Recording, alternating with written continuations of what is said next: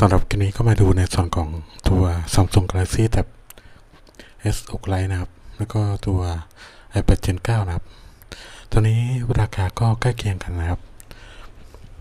เป็นรุ่น Wi-Fi ทั้ง 2 ตัวนะครับ แต่ว่าตอนช่วงโปรโมชั่น ตัว Tab S6 Lite นะครับ ก็อาจจะราคาต่ำกว่านิดหน่อยอยู่ที่ 7,000 กว่านะครับ ช่วงโปรโมชั่นนะครับ ส่วนแพทช่วงโปรโมชั่นก็อยู่ประมาณ9,000กว่าแล้วแต่ร้านนะครับ แต่ว่าถ้าซื้อจากโซนทั้ง 2 ตัวราคาก็ใกล้เคียงกันครับ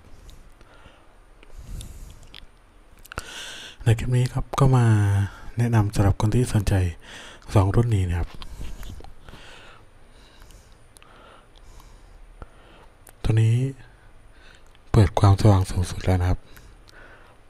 ทั้ง 2 ตัวนะครับ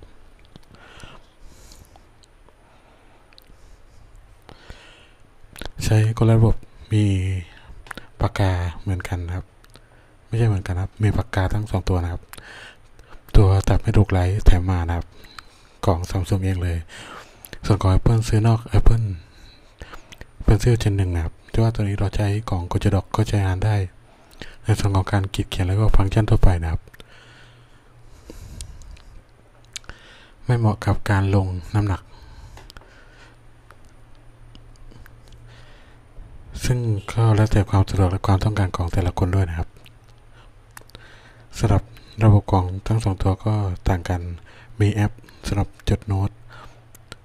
ตัว Samsung Note มีมาให้พร้อมนะครับ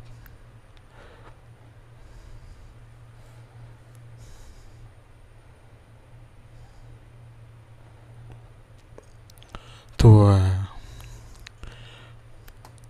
iPad ก็มีแอปโน้ตนะครับ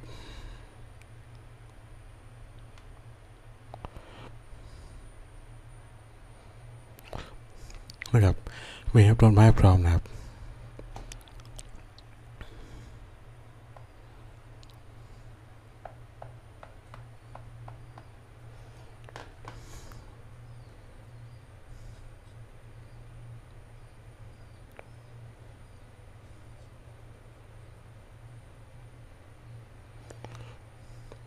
นะครับ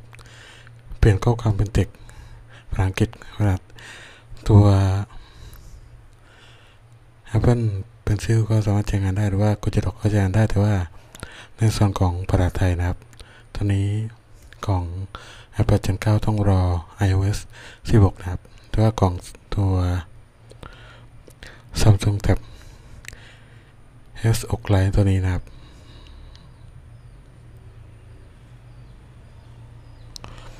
สามารถแปลงเทคจากลายมือเขียนภาษาไทยได้แล้วนะครับ iPad Gen 9 ก็ได้นะครับ แต่ว่าต้องรอตัว iOS 16 ซึ่งรออัปเดตช่วงปลายปีนะครับ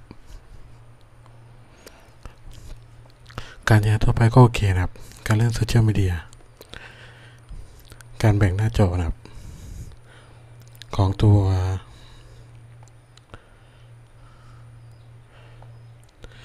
iPad Gen 9 นะครับ ก็เป็นการแบ่งลักษณะของ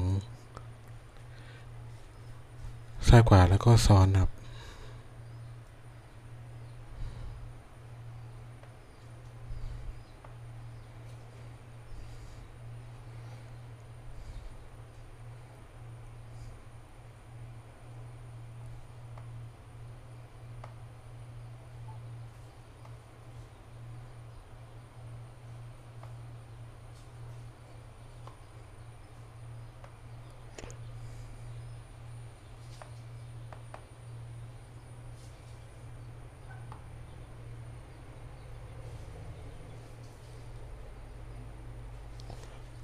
แต่กว่าของ Samsung Galaxy Tab ให้ถูกไลน์นะครับ มีการแบ่งบนล่างได้นะครับ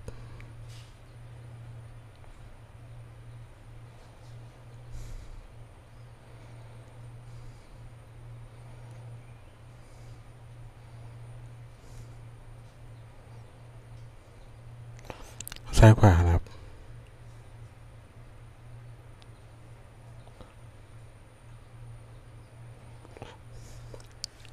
ครับคู่ด้านข้างนะครับ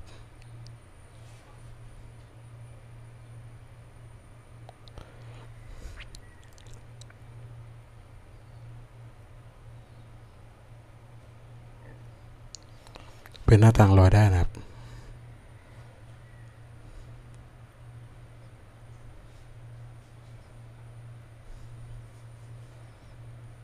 ซึ่งก็ตอบโจทย์สำหรับปัจจุบันนะครับ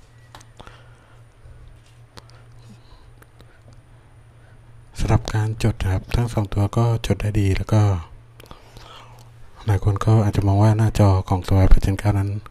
เหมาะสำหรับการจดการอ่านนะครับแต่ว่าตัวทับให้ลูกไลท์ก็ถือว่าโอเคนะครับ การดู YouTube ก็ดูเต็มหน้าจอไม่มีขอบดำนะครับ ตัว Gen 9มีขอบดำและแอปบางแอปนะครับ ก็อาจจะไม่เต็มหน้าจอสำหรับ iPad Gen 9ก็ เป็นในส่วนของตัวนักพัฒนาแอปที่ออกแบบมา ไม่รองรับเนื่องจากมี iPhone ที่รองรับอยู่แล้วอะไรแอปก็ใช้ตัวของ iPhone นะครับไม่ได้ปรับในส่วนของกระดาษหน้าจอนะครับ ถึงแม้เราขยายก็ยังไม่เต็มหรือว่าเต็มแต่ว่า ภาพอาจจะไม่คมชัดครับ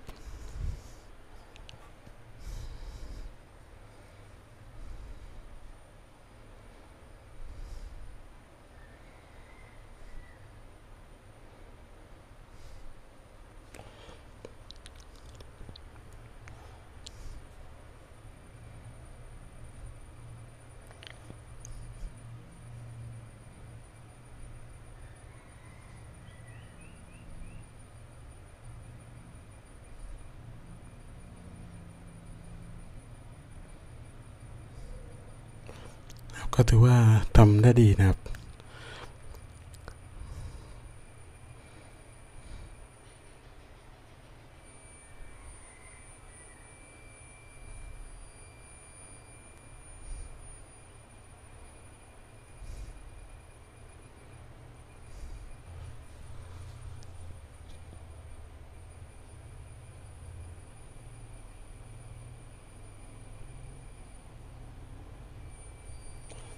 โดยบาง